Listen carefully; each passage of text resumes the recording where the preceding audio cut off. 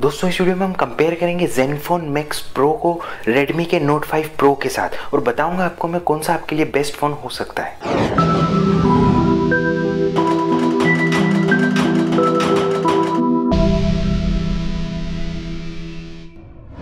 Video शुरू करने से पहले आपको बता दें कि अगर आपने अभी तक चैनल सब्सक्राइब नहीं किया है तो कर लीजिए और साथ में बेल आइकन भी दबा दीजिए ताकि आपको नोटिफिकेशन तुरंत मिल जाए। हेलो फ्रेंड्स मेरा नाम है राहुल, आप देख रहे हैं आरपीएम टेक टिप्स और दोस्तों, जैसा कि आपको पता होगा आसूस ने अपने नया एक स्मार्टफ़ोन लॉन्च किया है जेनफोन मैक्स प्रो एम नाम से।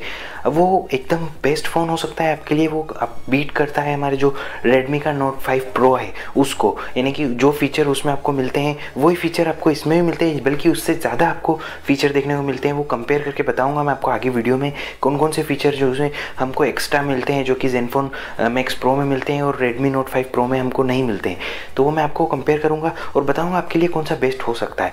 तो जल्दी से हम स्टार्ट करते हैं और बताता हूँ आपको। सबसे पहले हम बात करते हैं जेनफोन मैक्स प्रो के बारे में। इसमें आपको सबसे पहले जो फीचर मिलता है, जो कि सबसे बेस्ट है और जो कि हमारे काफ़ी इंपॉर्टेंट होता है, वो है बैटरी बैटरी आपको इसमें मिलती है पाँच हज़ार एम की बैटरी मिलती है, जबकि हमें रेडमी नोट फाइव जो प्रो है, उसमें आपको देखने को मिलती है चार हज़ार एम की बैटरी। तो ये एक बड़ा डिफरेंट हो सकता है दोनों फ़ोन के बीच में। और यहाँ पे हम दूसरे फीचर की कंपेयर करें तो यहाँ पे आपको जो प्रोसेसर मिलता है, वो हालाँकि दोनों में सेम ही मिलता है। उसके बाद हम तीसरे फीचर की बात करें तो यहाँ पे आपको जो देखने को मिलता है, वो है कैमरा कैमरे में हालाँकि मुझे जहाँ तक लगता है, हालाँकि मेरे पास फिजिकली प्रोडक्ट तो नहीं आया है बट मुझे जहाँ तक लगता है रेडमी नोट फाइव प्रो का जो कैमरा है, वो बेस्ट हो सकता है जेन फ़ोन का जो मैक्स प्रो है उससे, क्योंकि उसमें थोड़ा इम्प्रूव कैमरा है और काफ़ी कुछ कुछ इंप्रूव उन्होंने किया है। बट इसमें भी हमको जो है इंप्रूव देखने को मिलेगा, एक सॉफ्टवेयर अपडेट आएगा उसके बाद। ऐसा आसूस ने जो है अपने इवेंट में बोला है। और एक बड़ा डिफरेंट यहाँ पे देखने को मिलता है, कैमरे में फ्रंट कैमरे में आपको जो है नोट फाइव प्रो में आपको देखने को मिलता है एक जो है बीस मेगा का कैमरा। और यहाँ पर हम दूसरी तरफ़ बात करें तो आपको जेनफोन मैक्स प्रो है। उसमें आपको आठ मेगा का कैमरा देखने को मिलता है, जो कि इतना अच्छा नहीं होगा। जहाँ तक मुझे पता है, इतना अच्छा नहीं होगा। आठ मेगा का नॉर्मल कैमरा है। उन्होंने बोला है हाई डेफिनेशन कैमरा है बट वो नॉर्मल कैमरा ही है। इतना अच्छा कैमरा नहीं है जबकि हम बात करें रेडमी नोट फाइव की तो वहाँ पर आपको काफ़ी अच्छा कैमरा देखने को मिलता है। ए आई बेस्ड ऐसा कुछ कैमरा आपको देखने को मिलता है जिसे उनके इवेंट में उन्होंने बोला था। चौथा जो सबसे बड़ा डिफरेंट देखने को मिलता है जो कि मेरे लिए काफ़ी इंपॉर्टेंट हो सकता है आपके लिए काफ़ी इंपॉर्टेंट हो जो कि हमको मैक्स प्रो में देखने को मिलता है but Xiaomi Redmi note five pro में बिल्कुल भी देखने को नहीं मिलता जो कि है dual sim plus S card का सपोर्ट हम आप, आपको जो है मैक्स प्रो में dual sim plus SD card आप यूज़ कर सकते हैं बट जो रेडमी का नोट फाइव प्रो है उसमें आप जो है ड्यूल सिम एक साथ नहीं लगा सकते हैं उसमें आपको हाइब्रिड सिम सॉक देखने को मिलता है। तो ये काफ़ी अच्छा फीचर हो सकता है आपके लिए, अगर आप चाहते हैं एक फ़ोन ऐसा, जिसमें आपको जो बैटरी भी काफ़ी अच्छी मिले और दो सिम प्लस एसडी कार्ड भी आप चाहते हैं। तो ये फ़ोन बेस्ट हो सकता है आपके लिए। हालाँकि मैं सर्च कर रहा था ऐसा फ़ोन बट मैं आपको ये वाला फ़ोन रिकमेंड नहीं करूँगा। मैं आपको बताऊँगा कौन सा फ़ोन आगे कौन सा आपको लेना चाहिए।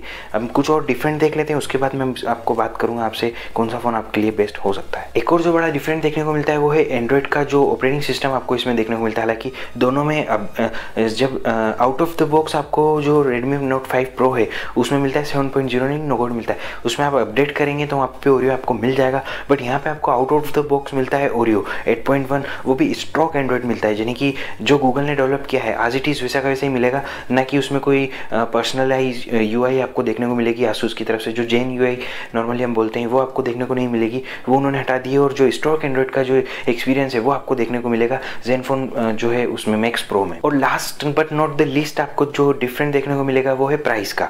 प्राइस का यहाँ पे आपको वन थाउज़ेंड रुपीज़ का डिफरेंट देखने को मिलेगा। बारह हज़ार नौ सौ निन्यानवे रुपये की इसकी प्राइस है और रेडमी नोट फाइव प्रो की जो प्राइस है, वो है तेरह हज़ार नौ सौ निन्यानवे क्योंकि चौदह हज़ार में ये मिलता है आपको और तेरह हज़ार में ये मिलता है। काफ़ी स्ट्रेटेजी के साथ जो है जेनफोन जो आसूस है, उन्होंने ये जेनफोन मैक्स प्रो को लॉन्च किया है। रेडमी नोट फाइव जो प्रो है शाओमी का, उसको जो है बीट करने के लिए यहाँ पे इन्होंने लॉन्च किया है। अब मैं आपको बताता हूँ आपको कौन सा जो है बेस्ट फ़ोन हो सकता है, कौन सा आपके लिए बेस्ट हो सकता है। अगर आप चाहते हैं एक अच्छा फ़ोन जिसमें आपको बैटरी अच्छी हो और साथ में आप ड्यूल सिम और प्लस एसडी कार्ड चाहते हैं तो मैक्स प्रो आपके लिए बेस्ट हो सकता है बट आप ऐसा नहीं चाहते आप एक सिम और एक एसडी कार्ड में खुश हैं, या फिर दो सिम बिना एसडी कार्ड के खुश हैं, और चार हज़ार की बैटरी भी आपको चल जाएगी। तो आपके लिए रेडमी का नोट फाइव प्रो जो है वो बेस्ट हो सकता है, क्योंकि इसमें आपको कैमरा अच्छा देखने को मिलता है। अगर आप कैमरा नॉर्मली इतना यूज़ नहीं करते हैं तो मैक्स प्रो आपके लिए बेस्ट हो सकता है। बट मैं आपको यहाँ पे रिकमेंड करूँगा कि आप थोड़ा रुक जाइए, क्योंकि जो आसूस ने ऐसा बोला है कि थोड़े दिन बाद आप आपको जो पंद्रह हज़ार में जो एक और वेरिएंट लॉन्च होने वाला है छः जी और चौंसठ जी के साथ, वो बेस्ट हो सकता है। हालाँकि मैं भी उसी का वेट कर रहा हूँ। मुझे भी फ़ोन लेना है आसूस का, मेरे पास जो फ़ोन है अभी, जिसे आप रिकॉर्डिंग देख रहे हैं, वो काफ़ी पुराना हो चुका है। तीन साल पुराना इंटेक्स का नॉर्मल फ़ोन जो होता है, वो यूज़ कर रहा हूँ। तो मैं इसका जो है वेट कर रहा हूँ, जिसमें आपको छः जी की रैम मिलेगी, चौंसठ जी की इंटरनल मेमोरी मिलेगी, और साथ ही जो आपको कैमरा मिलेगा, वो इम्प्रूव मिलेगा। सोलह मेगा का कैमरा मिलेगा, साथ में आपको जो है फ्रंट कैमरा जो है, वो भी सोलह मेगा का मिलेगा, और साथ में ड्यूल कैमरा तो मिलेगा ही। उसमें जो ड्यूल कैमरा है, वो नॉर्मली जो हम बात करें तो यहाँ पे तेरह मेगा का मिलता है प्लस पाँच मेगा का आपको जो नॉर्मल कैमरा मिलता है, जो कि डेप सेंसर वाला होता है।